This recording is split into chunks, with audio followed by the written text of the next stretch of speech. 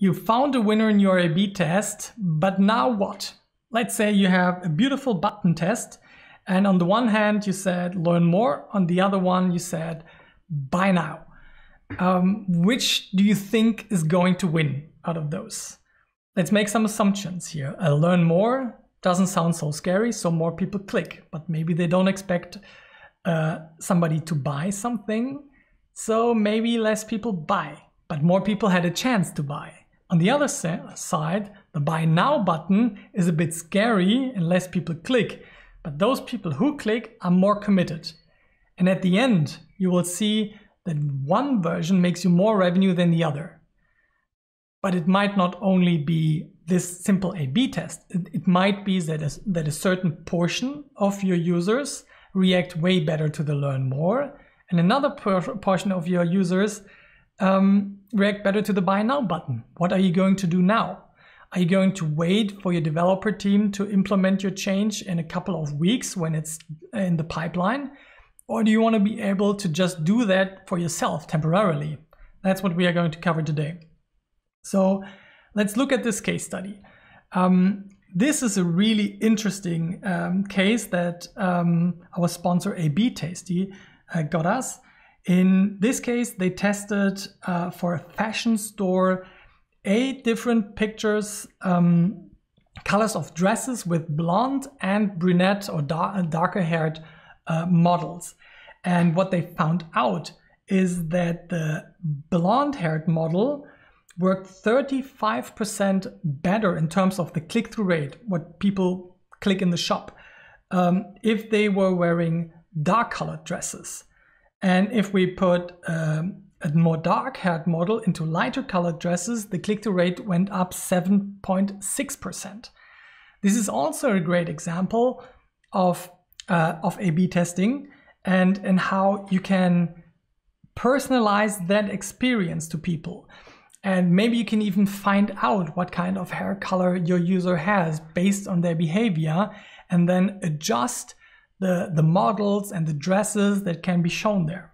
So I think this is a case study that shows you that it is not always a simple A-B test, but a mixing of and matching of different versions that will then show you that for certain cases, this is true, for other cases, this is true.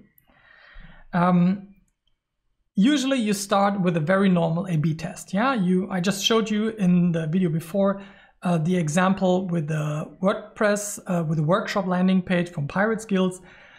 And um, you, you think like, okay, what could we do better on this website? And you think, well, we definitely need a bigger, brilliant call to action that says, become your own growth marketer. Yeah, you can see this here.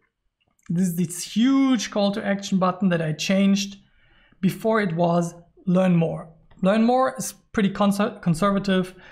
Become your own growth marketer is pretty bold, but it's also very wide. So it might be a problem on mobile. So I made the choice to just target people on desktop users to see this test.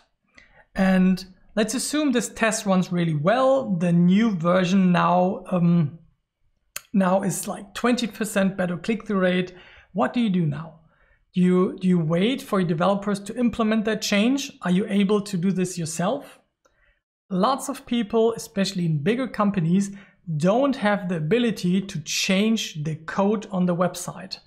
But A-B testing and customer experience software gives you the ability to temporarily update that website until your dev team has done that. So how would we do this here?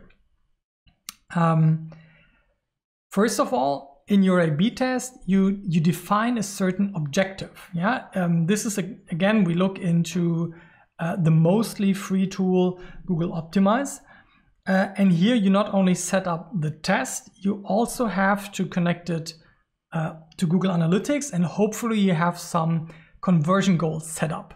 So in my case, a conversion goal is the primary one is that people download the overview PDF for all the workshops. At the very bottom, there's this download PDF and you can download it. And you can download uh, something. And I want people to click that. And I, my, my button change only the only reason why why I did that change is, is because I think more people will download the overview. I also have some secondary objectives like people who schedule a call, who go to the thank you page. So I've set up my objectives properly. I let the test run for one to two weeks at least. I wait until I have enough sessions so I have a statistically significant result. Um, but then um, I need to make a decision. Yeah, let's say this is the clear winner. Yeah, this gets a crown, beautiful crown. Yeah, not, not that beautiful, but let's live with it. Now you can say, um, in the case of Google Optimize, that you want to end this experiment. Yeah, here on the right hand side, there are like three dots, you press on it. You can say end and deploy. And what Google Optimize will do for you at this point is to take that A-B test, and the A-B test usually has a specific end. You never intend to have 100% of people run on the A-B test forever. It automatically makes a, a personalization. Let me show you. Um, it creates it, and now you can deploy this uh, new version with a become your own growth marketer call to action to your website and you can send specific events uh, to Google Analytics, which really helps in the further analysis. And now your website is updated for all people where you decided that they should see it. And you don't have to do any coding for now. Yeah. And once your development team has caught up and they did the change, you can end this experiment and but you could all already profit like the two to three weeks it often takes uh, for an IT ticket to to get through the system. I hope your IT uh, is faster, but some are even way way way slower.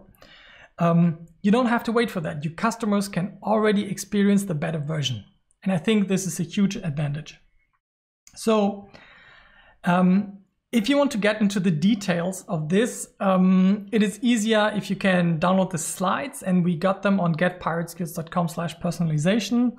And then you can go back in your own time and follow this process along. We will also have the videos uploaded here on that side by Friday. Yeah, and we usually segment those videos really nicely, like you can see here on the on the past uh, meetup and you will not only get access to this video series, yeah, that we're doing right now, but to all of the last ones of the past two years. So it's really, it has become like this treasure chest of growth marketing know-how.